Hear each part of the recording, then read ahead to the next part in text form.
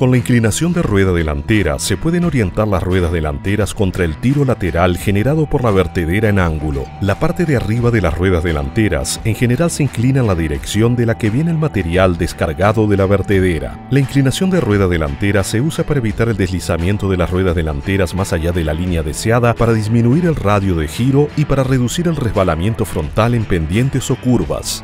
Esto es especialmente eficaz en el barro o arena.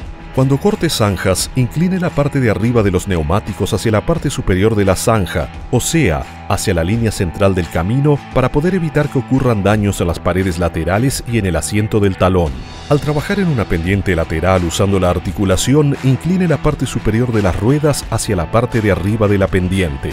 Esta técnica puede evitar que la oscilación del eje delantero alcance su límite. Este control permite al operador realizar ligeras correcciones de la dirección para el acabado y otras aplicaciones. También permite variar la profundidad de corte de la vertedera y aumentar la capacidad de ángulo de la pendiente al cortar pendientes altas o taludes de acequias.